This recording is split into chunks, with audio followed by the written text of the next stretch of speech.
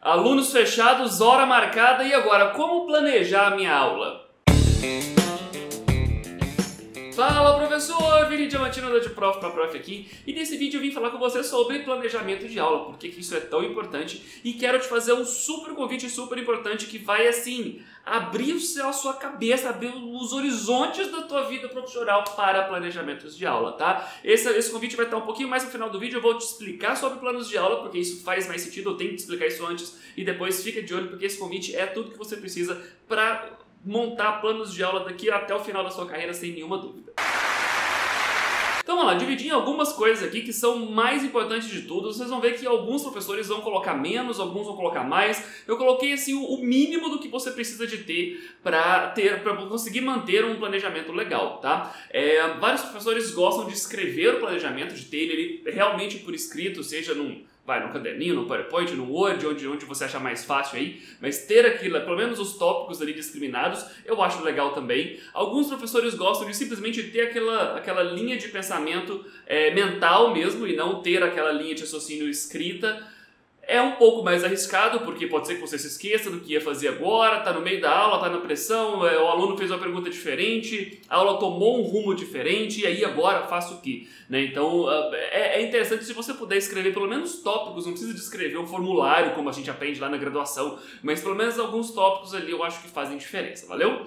Então vamos lá, primeira coisa que você obrigatoriamente precisa ter no seu plano de aula, claro, é entender muito bem quem é o seu público, quem são os alunos que estão ali. Se você já está com essa turma há muito tempo, isso é óbvio, você já sabe de cabeça ali rapidamente quem são aqueles alunos. Se você está começando uma turma nova ou se é, você está ali nas primeiras aulas ainda, nas primeiras semanas daquela turma, você ainda está conhecendo os alunos e é importante então deixar é, os tópicos a serem discutidos de uma forma mais aberta e de preferência um pouco menos é, uh, polêmica, vamos dizer assim, um pouco menos polêmica, né? Porque aí você consegue ter todos os alunos conseguindo participar sem ter aquela coisa de ah, eu não falo sobre isso, ah, eu não gosto daquilo. Então, eh, ter um, um, assuntos, um leque de assuntos mais amplos e mais, é, mais mainstream, assim, mais, mais ok, menos polêmicos, eu acho que faz uma diferença legal no início, tá? Depois, mais pra frente, aí sim, taca polêmica neles e vamos ver como é que fica essa argumentação, essa discussão do, da galera como um todo ali. Né? Então, primeira coisa, identificar quem é esse público-alvo, identificar os seus alunos. Como é que são esses alunos? Eles gostam de quê? Qual é a faixa etária deles? Qual é o objetivo deles ali com o curso como um todo? Para você poder direcionar aquilo que está acontecendo para as necessidades e objetivos deles, necessidades linguísticas, necessidades é, de conhecimento ou de conteúdo e objetivos enquanto alunos daquele curso. Eles precisam, eles precisam daquele curso para aprender o quê? Para chegar aonde? Para conseguir conquistar o quê? E a partir daí a gente consegue sim criar uma aula que faça muito mais sentido.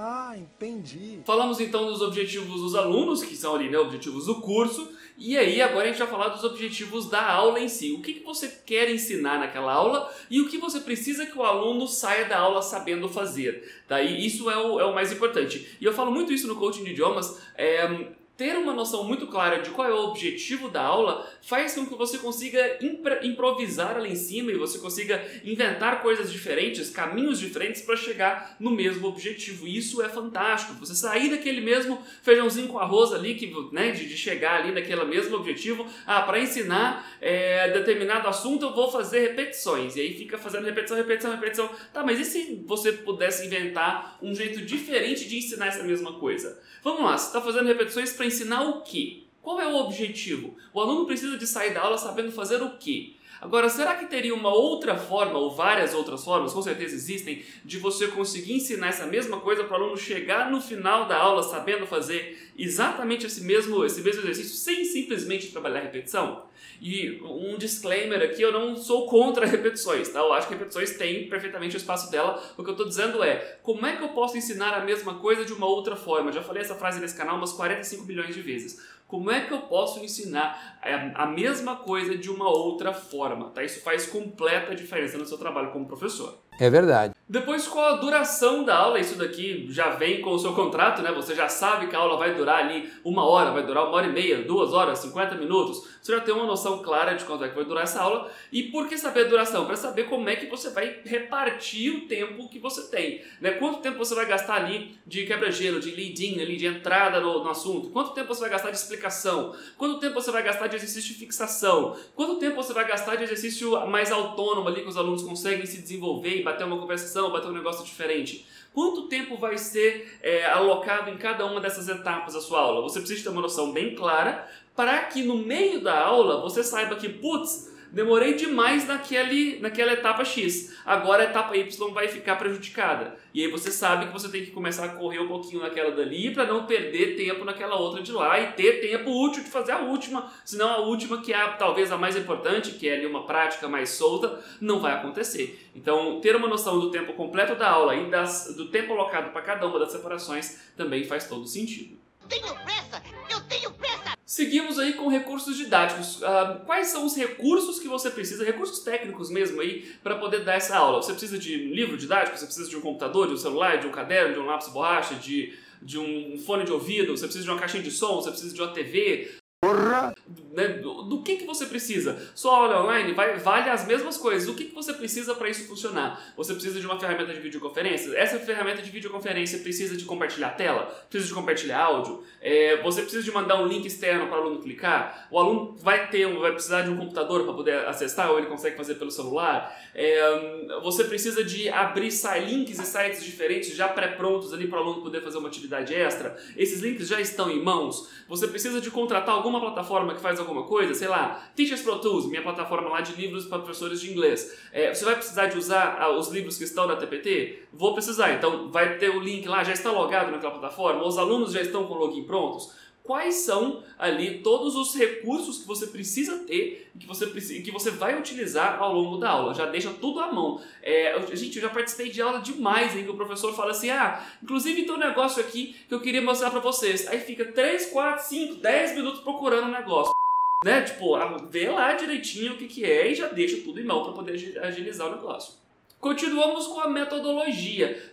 Você, a gente já falou aí de como é, de quais são os materiais, os recursos que você precisa, mas como é que você vai ensinar aquilo? Né? Lá para cima eu falei de quais são os objetivos, é, o que, que, o aluno precisa aprender. Agora é como é que você vai ensinar aquilo que o aluno precisa aprender. Essa é a ideia. E aí é importante que você tenha isso muito claro na sua cabeça. Afinal de contas, esse é exatamente o tópico que fala da aula em si, né? Que é como é que você vai guiar a aula, como é que você vai liderar ali a interação do teu aluno, dos seus alunos, enfim, não importa o tamanho da turma, é, para que eles consigam chegar nos objetivos deles. Então, tudo que a gente falou até agora é para este momento de metodologia, como é que este momento vai acontecer, quanto tempo você vai, de, vai deixar para cada um deste momento, quanto, quais são os objetivos deste momento, quais os materiais que você vai usar para este momento, e aí como é que vai ser a metodologia que você vai utilizar. Eu não estou falando só de uma grande abordagem comunicativa, eu não estou falando só de uma metodologia X ou Y. Eu quero saber como é que você vai fazer cada um desses exercícios, cada um desses pedacinhos da aula acontecerem ali e, e fazerem. E, que, o mais importante, eles têm que fazer sentido é, um junto com o outro. A gente gosta sempre de falar que as aulas deveriam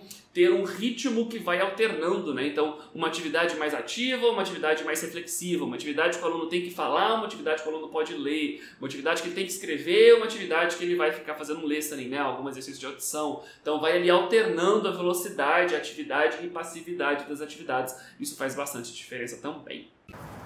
Por fim, como é que você vai saber se o aluno aprendeu mesmo ou não? Como é que você vai saber se, é, se a aula foi útil para o aluno, se ele vai sair daquilo ali é, melhor do que como ele entrou, se ele vai sair daquilo ali sendo capaz de conhecer ou produzir algo a mais do que ele entrou na aula no início. Né? Como é que vai ser essa avaliação? Não precisa ser uma avaliação tipo prova, senta aqui e faz uma prova firme, formal. Não precisa, pode ser uma, uma avaliação informal que o próprio professor faz do aluno por observação. Pode ser uh, uma observação que o professor faz a partir dos exercícios que o aluno tem que fazer ao longo da aula, anotações de acertos e erros, enfim. Como é que você avalia se aquilo que você ensinou realmente entrou na cabeça do aluno a ponto de ele conseguir, é, dele ser capaz de produzir aquilo por conta própria?